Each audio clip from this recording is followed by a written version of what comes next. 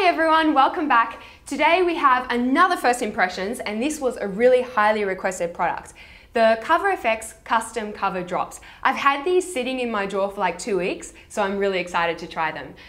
If you haven't yet heard of them, the concept is really interesting. Essentially, it's marketed as a pure pigment that you can mix with your favorite skincare or your favorite primer to custom create your own foundation. We have a dropper delivery system yet again. It is 15 mil or half a fluid ounce. Remember that you're going to be mixing this with other products.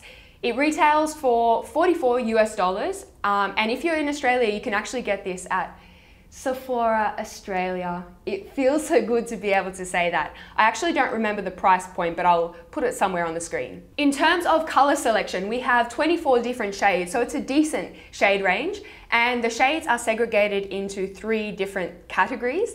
Uh, G, which is a more warm yellow undertone, N, which is neutral, and P, which is for cooler undertones or pink undertones. I eyeballed my skin tone and I think I'm between G20 and G30 depending on the time of the year. If I put a drop on the back of my hand, um, unmixed, it feels a little bit like a dry oil, much like a lot of the new age foundations. So it is a little bit on the drier side, so I'm gonna be mixing it with something a little more emollient today. I was a little bit overwhelmed with all the mixing scenarios, so I did a bit of research and I watched a first impressions video by Tati, Glam Life Guru, I love her, and she mixed it with the Cover FX Anti-Aging Primer.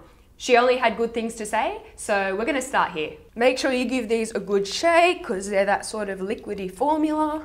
I'm mixing about one and a half pea size amount of the Cover FX Anti-Aging Primer with two drops of the G30 and one drop of the G20. I think that that'll be a decent match for me. So this is the situation that I've got going on right now. It's a little bit messy.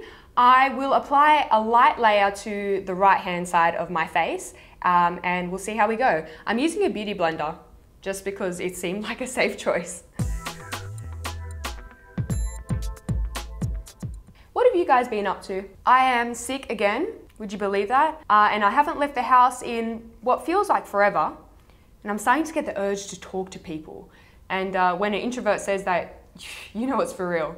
So that is a thin layer on the right hand side of my face. I think I have about a light to a medium coverage actually. You can still see some of that irksome rosiness in my cheeks. I think this is a pretty decent shade match for my NC20 to NC25 skin. Sometimes my lighting situation can make my face look lighter than my body, but I promise you, it looks right in person. Let's try another thin layer and see if it builds. That is a second thin layer on the right hand side of my face and I think I've built to a pretty solid medium coverage here. The Cover FX custom cover drops are quite potent so I do believe that you could get to a full coverage if you wanted to. I'm going to finish off the rest of my face and I will be right back. Okay, so this is the entire face done and I've inspected this in natural light, always a good idea. Two critiques, oh my god, an aeroplane. Two critiques at this point. My nose is looking a bit dry and dehydrated. I am prone to dehydration, but the primer was quite emollient, so I wasn't really expecting that. I'm also getting quite a significant amount of creasing um, around the crevice of my nose where the skin folds. So if you have a lot of fine lines, that might be something that you want to take into account. It's hard though because so much of this review is dependent on the mixer itself. In terms of the finish, it looks like a standard satin, so not super dewy and not super matte. Um, it's still a little bit tacky to touch. Let's test for fragrance. I can definitely smell the alcohol in this. So if you are sensitive to alcohols, definitely keep that in mind. And there's an overlay of something else that I can't quite put my finger on. It smells clean. Okay, we're gonna, we're gonna leave it there. I'm adding some under eye concealer before I take my flash test so that maybe I look human. I'm using the Maybelline Fit Me concealer today, which I've kind of started liking all of a sudden. So as far as I can tell, neither of these products have SPF. So let's do that flash test right now and we'll see if we get any ghostly flashback. I'm quickly setting my T-zone with some Rouge Bunny Rouge Diaphanous, what I would do on any normal day, so that I can have a proper means of comparison. Okie dokie, it is currently 12.02, so noon. I will be back in a few hours to tell you what I think. Hey everyone, welcome back. It is now 7:16 p.m. and I'm here with the lovely Beauty Life Michelle. Welcome. Hey. Welcome to the Shamfrip. Shamfrip. Yay!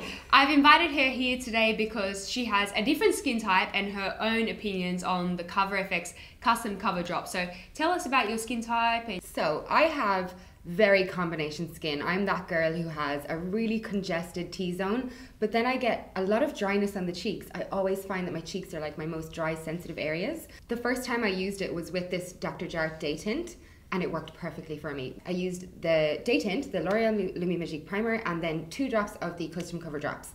And it created the most amazing base for me. It was like the perfect everyday, just going to work or uni base. And it gave me a very natural skin look, but with that coverage I needed. And I found it wore really well through the day. It didn't really look um, drying on me, it didn't really separate. And I just loved the finish. So I'm going to ask Michelle to give us a third perspective on how my foundation looks compared to how it would normally look. So Hit me with it. Hit me with it. Yeah, so Karima and I hang out quite a bit, I would say. And Yep. and the one thing I always notice about Karima is that her makeup looks like skin. Whereas for me, I'm more of like a makeup makeup wearer. Does that make sense? Makeup. Yeah, I like my makeup like To look makeup. makeup-y, yeah, I'm yeah. a bit more high coverage. Whereas Karima has fabulous skin without any pigmentation. And whenever I see her, I always look at her and think, your foundation looks like your skin. I never look at her and see makeup on her face, but I can totally see what she's saying today about the custom cover drops. I can see it on your skin and I can tell that it's it's drying you out slightly around here, the And middle of the, the brows. brows. And it's just not the finish you normally go for, I guess. Exactly. Yeah, and that's the difference, yeah. I think that's spot on. Today I can see makeup on my face. The coverage I think is so customizable. You could go from super super sheer Does what it says in the tin, hey? It's custom just, cover drops. it's just so custom. You could go from a super sheer coverage to a pretty solid full coverage if you decided to apply it alone. In terms of wear time, this has pretty much stayed intact all day. Perhaps the only longevity issue that I've found, it does transfer quite easily. So when I added some bronzer to the bridge of my nose, I found that the brush removed a bit of coverage. That's something to consider uh, if transfer is an issue for you or if you happen to be a face toucher. Oh, I get like white patches from being on my laptop and just being like, Yeah, exactly. I think this is actually one of those products that is not well suited to a first impressions kind of video because it really depends on the kind of products that you're mixing it with, and there's so many different kind of scenarios that can occur. Would you agree with that? completely agree. You could mix this with even a full coverage foundation or your lightest moisturizer. If you are looking for an out of the box solution, I'm not sure that this will fit the bill, but if you're okay with playing on a Saturday afternoon with your favorite foundations and your favorite primers and your favorite skincare, then this is definitely something to try. One of the ways I found this product really, really useful that I don't know if you you don't fake tan, do you? No, I didn't think she did. no. Um, I do fake tan quite a bit, and I found this really, really good for making my foundation match my fake tan. So Adjusting it. Adjusting it, and I think that's something that if you're a fake tan wearer, you will understand what I mean. It's very hard to constantly be changing up your foundation shades when you're in a fake tan cycle.